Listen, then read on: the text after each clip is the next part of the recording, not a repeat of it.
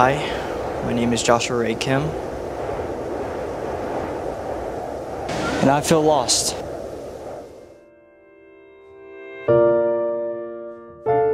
Recently, I turned 22 years old. And I don't know where I'm going in life. Which is kind of scary, just floating through life with no plans, waiting for things to happen. It's kind of crazy how we all grew up with hopes and dreams as a child. No matter what it was, we still had hope and faith in ourselves that it might happen one day.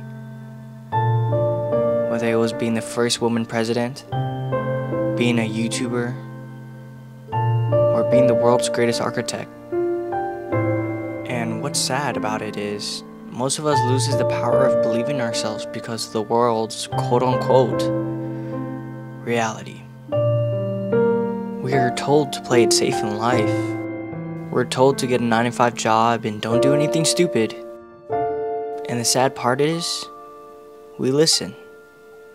And from that, we lose that beautiful mindset of believing. And that's the end of it. But what if I told you playing it safe is being risky? What if I told you that playing it risky is the best way to achieve your dreams? There will be obstacles in your life regardless whether your plan is safe or risky. But do not think the obstacle is your enemy.